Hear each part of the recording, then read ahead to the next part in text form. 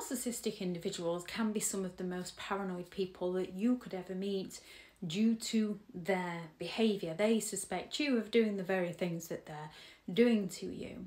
However, narcissists also often create paranoia in their victims that constant fear that the narcissist will do something harmful or manipulative.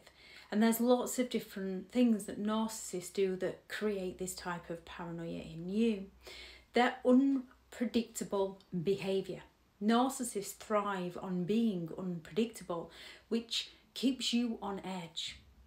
Their mood swings, their sudden outbursts, or their unpredictable decisions create an environment of fear and uncertainty. You become paranoid, constantly worrying about what they will do next or how they might react.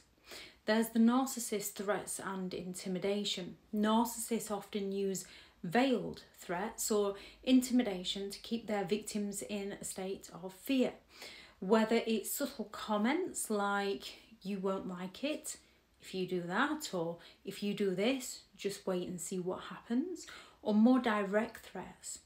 They make you feel like you're always on the verge of something bad happening, fueling that paranoia about their next move.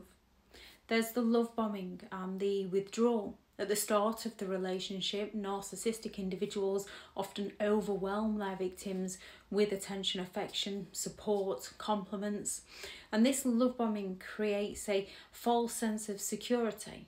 But when the narcissists eventually withdraw this affection, usually all of a sudden, the victims are often less left feeling confused and fearful, wondering when the next cycle of manipulation will start, making them paranoid about the narcissist's intentions when they start being nice again.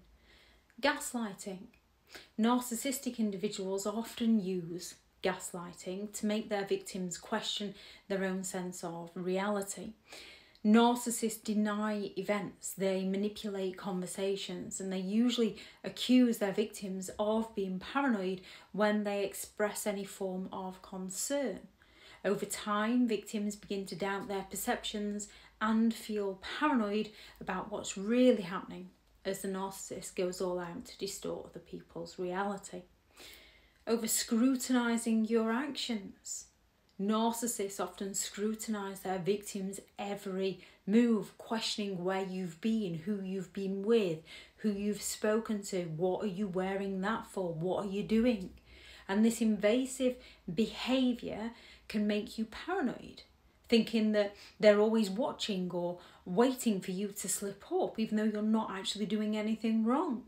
It creates a constant feeling of surveillance, making you anxious about their next move projecting their behaviour onto you. Narcissists often project their own bad behaviour onto their victims.